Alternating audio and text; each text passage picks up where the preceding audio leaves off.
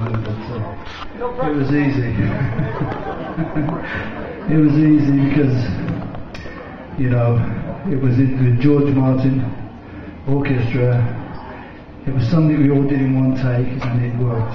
It was for a film called uh, Never Let Die.